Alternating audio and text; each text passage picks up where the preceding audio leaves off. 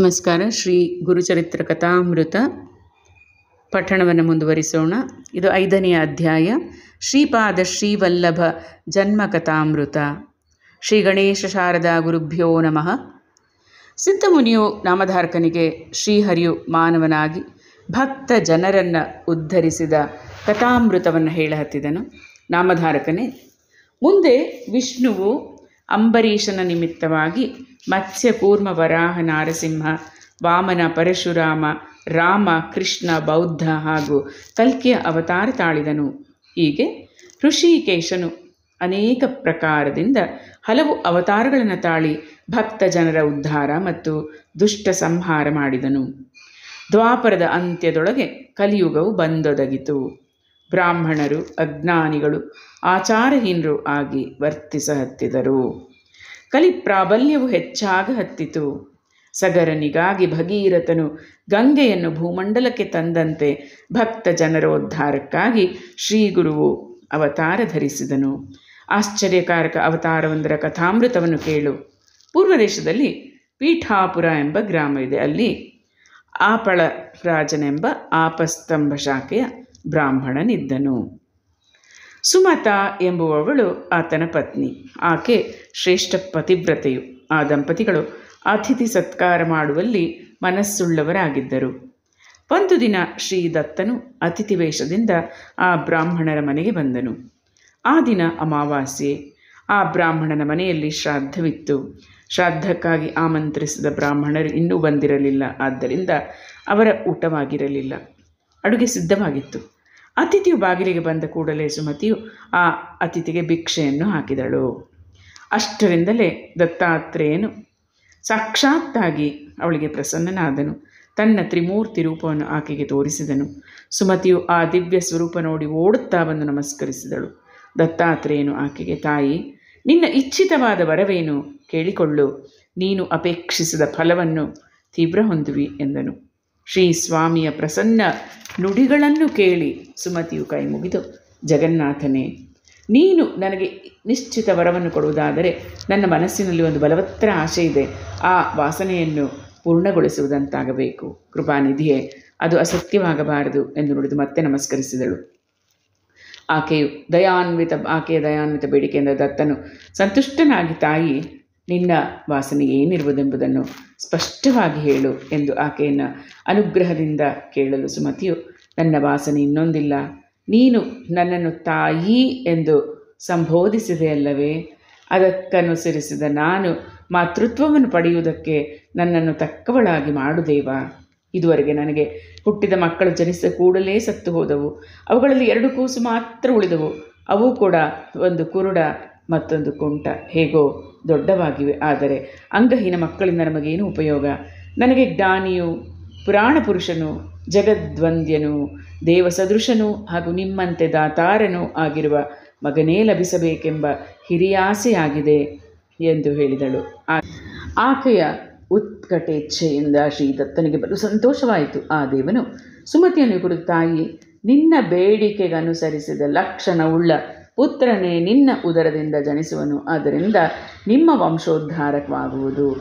ಈ ಕಲಿಯುಗದಲ್ಲಿ ಅವನು ಪ್ರಸಿದ್ಧನಾಗುವನು. ನೀವು ಯಾವಾಗಲೂ ಅವನ ಹೇಳಿಕೆಯಂತೆಯೇ ವರ್ತಿಸಬೇಕು. ಇದರಲ್ಲಿ ನೀವು ಅಂತರಿಸಿದರೆ ಮಾತ್ರ ಅವನು ನಿಮ್ಮನ್ನು ಬಿಟ್ಟು ಹೋಗುವನು. ತಾಯಿ ಆ ನಿನ್ನ ಮಗನು ಜ್ಞಾನ ಮಾರ್ಗದಲ್ಲಿ ಸಮರ್ಥನಾಗಿ ನಿಮ್ಮ ದೀನ ದಾರಿದ್ರ್ಯಗಳನ್ನು ದೂರ ಮಾಡುವನು ಎಂದು ತ್ರಿಮೂರ್ತಿ ದತ್ತನು ಸುಮತಿಗೆ ಹೇಳಿದನು. ಮತ್ತು ಆಕೆ ಅಲ್ಲಿಯೇ ನಿಂತಾಗ ಆಕೆ ನೋಡು ನೋಡುತ್ತಿರಲು ಅದೃಶ್ಯನಾಗಿಬಿಟ್ಟನು. ಆಗ ಸುಮತಿಗೆ ಅತ್ಯಂತ ವಿಸ್ಮಯವಾಯಿತು. ತನ್ನ ಪತಿಯು ಮನೆಗೆ ಬಂದ ಕೂಡಲೇ ಆಕೆ ಅದುವರೆಗೆ ನಡೆದ ಎಲ್ಲ ಸಂಗತಿಗಳನ್ನು ಪತಿಗೆ ತಿಳಿಸಿದಳು. ಅವನಿಗೂ ಬಲು ಸಂತೋಷ ಮತ್ತು ಅವನು ಸುಮತಿಯನ್ನು ಕುರಿತು, ಸತಿ, ಮಧ್ಯಾಹ್ನ ಸಮಯದ ಅತಿಥಿ ಕಾಲದಲ್ಲಿ ಶ್ರೀ ದತ್ತನು ಭಿಕ್ಷೆಗೆ ಬರುವುದುಂಟು. ಭಿಕ್ಷೆ ನೀಡದೆ ಅವನನ್ನು ಪರಾಂಗುಖವಾಗಿಕೊಡಬೇಡ ಆ ದತ್ತನು ಸದಾ ಕರವೀರ ಮಾಹುರ ಕ್ಷೇತ್ರದ ಪಾಂಚಾಳೇಶ್ವರ ನಗರದಲ್ಲಿ ವಾಸಿಕೊಂಡು ವಾಸ ಮಾಡಿಕೊಂಡಿರುವನು ಅವನು ತನ್ನ ಮನಸ್ಸಿಗೆ ಬಂದ ಅನೇಕ ವೇಷ ಧರಿಸುವನು. ಅವನ ಬರುವಿಕೆಯ ಸಾಪೇಕ್ಷವೇ ಆಗಿರುವನು. ಅವನಿಗೆ ಭಿಕ್ಷೆ ನೀಡುವುದಕ್ಕೆ ನನ್ನ ಅಪ್ಪಣೆ ಅವಶ್ಯಕತೆ ನಿನಗಿಲ್ಲ ಎಂದನು. ಅದಕ್ಕೆ ಸುಮತಿಯು, ಈ ದಿನ ನಾನು ಬ್ರಾಹ್ಮಣರಿಗೆ ಭೋಜನ ಮಾಡಿಸದೆ ಅತಿಥಿಗೆ ಭಿಕ್ಷೆ ನೀಡಿದೆ. ಇದು ನನ್ನ ಅಪರಾಧವಲ್ಲವೇ ಎಂದಳು. ಅದಕ್ಕೆ ಆಪಳ ರಾಜನು ಪತಿವ್ರತೆ. ಇದರಲ್ಲಿ ತಪ್ಪೆಣಿಸಲಾರೆ. ನಿನ್ನ ಪಿತರುಗಳು ತೃಪ್ತರಾದರು. ಇದೊಂದು ನನಗೆ ದೊಡ್ಡ ಲಾಭವಾಯಿತು. ಪಿತೃಗಳ ದೆಸೆಯಿಂದ ಕರ್ಮ ಮಾಡಿ ವಿಷ್ಣುವಿಗೆ ಸಮರ್ಪಿಸಿದೆವು. ಆ ವಿಷ್ಣು ಸ್ವರೂಪಿನ ಸ್ವಾಮಿಯೇ ಬಂದು ನಮ್ಮ ಮನೆಯಲ್ಲಿ ಭಿಕ್ಷೆ ಸ್ವೀಕರಿಸಿದನೆಂದ ಮೇಲೆ ವಿಷ್ಣುವಿಗೆ ಅರ್ಪಿತವೆಂದೇ ತಿಳಿ. ಆ ತ್ರಿಮೂರ್ತಿಯಿಂದ ಪ ನೀನು ಧನ್ಯಳು. ನಿಶ್ಚಯವಾಗಿಯೂ ನಿನಗೆ ನಿನ್ನ ಇಚ್ಛೆಗನುಸರಿಸಿದ ಪುತ್ರನೇ ಜನಿಸುವನು, ಚಿಂತಿಸಬೇಡ ಎಂದನು. ಮುಂದೆ ಆ ದಂಪತಿಗಳು ನಿಶ್ಚಿಂತೆಯಲ್ಲಿ ದಿನ ಕೆಲ ದಿನಗಳೆದರು ಅದರೊಳಗೆ ಸುಮತಿಯು ಗರ್ಭವತಿಯಾದಳು. ಕಾಲಕ್ರಮಿಸಿ ಒಂಬತ್ತು ತಿಂಗಳು ತುಂಬಿದವು. ಮುಂದೆ ಭಾದ್ರಪದ ಗಣೇಶ ಚತುರ್ಥಿಯಂದು ಗಂಡು ಮಗುವನ್ನೇ ಹೆತ್ತಳು. ದಂಪತಿಗಳಿಗೆ ಬಹಳ ಆನಂದವಾಯಿತು. ಮಗುವಿನ ಜಾತಕರ್ಮ ನಾಮಕರಣಗಳಾದವು. ಆ ಕೂಸಿಗೆ ಶ್ರೀಪಾದ ಎಂಬ ಹೆಸರನ್ನಿಟ್ಟರು. ಭಕ್ತ ಜನೋದ್ಧಾರಕ್ಕಾಗಿ ಅವತರಿಸಿದ ತ್ರಿಮೂರ್ತಿ ದತ್ತನ ಅವತಾರವೇ ಶ್ರೀಪಾದನು. ಕೂಸು ಬೆಳೆದು ದೊಡ್ಡದಾಯಿತು. ಬಾಲಕನಾದನು, ಏಳು ವರ್ಷದವನಾದನು. ಬ್ರಾಹ್ಮಣನು ಶಾಸ್ತ್ರೋಕ್ತವಾದ ಶ್ರೀಪಾದನ ಉಪನಯನ ಮಾಡಿದನು. ಆಗ ಆ ಬಾಲಕನು ಬ್ರಹ್ಮಚಾರಿಯ ಸ್ವರೂಪ ಹೊಂದಿದನು. ಆಗಲೇ ಅವನು ವೇದ, ಮೀಮಾಂಸೆ, ತರ್ಕ ಮೊದಲಾದವುಗಳನ್ನು ವಿಸ್ತೃತವಾಗಿಯೂ ಅಸ್ಖಲಿತವಾಗಿಯೂ ಉಚ್ಚರಿಸ ಹತ್ತಿದನು ಎಲ್ಲರಿಗೂ ವಿಸ್ಮಯವಾಯಿತು. ಏಳನೆಯ ವಯಸ್ಸಿನಲ್ಲಿ ಬ್ರಹ್ಮಚರ್ಯಾಶ್ರಮದಲ್ಲಿ ಕಾಲಿಟ್ಟ ಶ್ರೀಪಾದನು ವೇದವಿದ್ಯಾ ವ್ಯಾಸಂಗದಲ್ಲಿ ಕಾಲ ಕಳೆಯುತ್ತಾ ಹದಿನಾರನೆಯ ವರ್ಷದ ವಯಸ್ಸಿಗೆ ಮುಟ್ಟಿದನು. ತಾಯಿ ತಂದೆಗಳು ಮಗನು ದೊಡ್ಡವನಾದನೆಂದು ಬಗೆದವನು ಮದುವೆ ಮಾಡುವ ಆಲೋಚನೆ ನಡೆಸಿದರು. ಅವರು ತಮ್ಮ ವಿಚಾರವನ್ನು ಮಗನಿಗೆ ತಿಳಿಸಿದರು. ಅದಕ್ಕೆ ಶ್ರೀಪಾದನು, ತಾಯಿ ತಂದೆಗಳನ್ನು ಕುರಿತು ನೀವು ನನ್ನ ಮದುವೆ ಮಾಡುವುದಕ್ಕೆ ಆತುರರಾಗಿರುವಿರಿ. ಆದರೆ ಈ ಮೊದಲೇ ವೈರಾಗ್ಯ ಸ್ತ್ರೀಯೊಡನೆ ನನ್ನ ಲಗ್ನವಾಗಿದೆ. ಆ ನಾರಿಯ ಹೊರತು ಉಳಿದ ಸ್ತ್ರೀಯರೆಲ್ಲರೂ ನನಗೆ ಮಾತೃ ಸದೃಶರು ಈ ಯೋಗ ಸ್ತ್ರೀಯೊಡನೆ ನನ್ನ ಲಗ್ನವಾದ್ದರಿಂದ ಶ್ರೀವಲ್ಲಭ ಎಂದು ಹೆಸರು ನನ್ನದಾಗಿರುವುದು. ಅದಕ್ಕೆಂತಲೇ ತ್ರಿಮೂರ್ತಿಗೆ ಶ್ರೀಪಾದ ಶ್ರೀವಲ್ಲಭ ಎಂದು ಹೆಸರಾಗಿದೆ. ಇನ್ನು ನಾನು ಉತ್ತರ ಪಥಕ್ಕೆ ಕ್ರಮಿಸುವೆನು ಎನ್ನಲು ಶ್ರೀಪಾದನ ಮಾತು ಕೇಳಿದ ಕೂಡಲೇ ಆ ದಂಪತಿಗಳೇ, ಹಿಂದೆ ಹೇಳಿದ ಅತಿಥಿಯ ಮಾತು ಸತ್ಯವೆಂದಾಯಿತು. ಸತ್ಯವಾಯಿತೆಂದೆನಿಸಿತು. ಇನ್ನು ಮಗನ ಮಾತನ್ನು, ಅವನ ಮಾತನ್ನು ಒಪ್ಪದಿದ್ದರೆ ಕೂಡಲೇ ಈಗಲೇ ನಮಗೆ ವಿಘ್ನ ಒದಗುವುದು ನಿಶ್ಚಿತವು ಎಂದು ವಿಚಾರಿಸಿ ಅವರು, ಶ್ರೀಪಾದನನ್ನು ಕುರಿತು, ಮಗನೇ, ನೀನು ನಮ್ಮನ್ನು ರಕ್ಷಿಸುವಿ ಎಂದು ಆಸೆ ತಾಳಿದ್ದೆವು. ಅದು ಎಂದು ಎಂದು ನುಡಿದು ಕಣ್ಣೀರು ಸುರಿಸಿ ಹತ್ತಿದರು ನೆಲಕ್ಕೊರಗಿದರು. ಶ್ರೀಪಾದನು ತನ್ನ ಕೈಯಿಂದ ಅವರನ್ನು ಎಬ್ಬಿಸಿದನು. ತಾಯಿಯನ್ನು ಕುರಿತು, ತಾಯಿ, ಚಿಂತಿಸಬೇಡ, ನೀನು ಬೇಡಿದ್ದನ್ನು ನಾನು ಕೊಡುವೆನು. ದೃಢ ಚಿತ್ತದಿಂದ ಸುಖವಾಗಿರಬೇಕು ಎಂದು ಹೇಳಿದನು. ಅದಕ್ಕೆ ತಾಯಿಯು, ಮಗನೇ, ನಿನ್ನಿಂದ ನಾವು ನಮ್ಮ ಉದ್ಧಾರವಾಯಿತೆಂದು ಬಗೆದಿದ್ದೆವು.